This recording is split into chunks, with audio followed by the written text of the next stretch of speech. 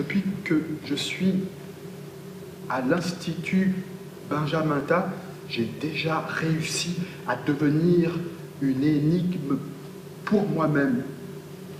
Moi aussi, j'ai été contaminé par un contentement très bizarre que je n'ai jamais connu auparavant. J'obéis passablement, pas si bien que Krauss, qui pratique magistralement, avec zèle, l'art de se jeter cul par-dessus tête au devant des ordres. Nous autres élèves, Krauss, Chartres, Chilinski, Fuchs, le grand Pierre, moi, etc., nous nous ressemblons tous sur un point, celui de notre pauvreté et de notre dépendance totale. Nous sommes humbles, humbles jusqu'au dernier degré de la bassesse. Monsieur Benjamin Ta est un colosse.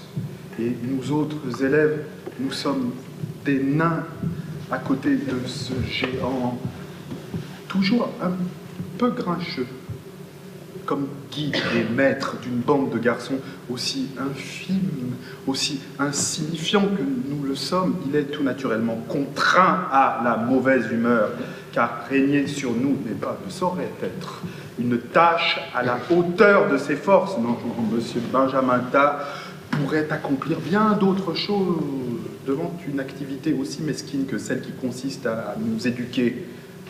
Un Hercule pareil n'a pas d'autre ressource que de s'endormir, c'est-à-dire de lire le journal en grommelant et en ruminant ses pensées.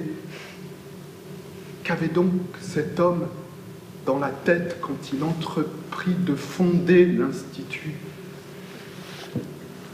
Me tromperais-je, mon Dieu Il m'arrive parfois de ressentir tout mon séjour ici comme un rêve incompréhensible.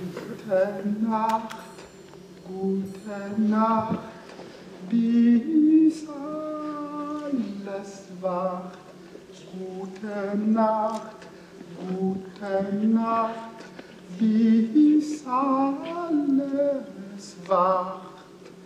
Schlaf aus deine Freude, schlaf aus dein Leid. Der Vollmond und steigt, der Nebel weicht, der Vollmond.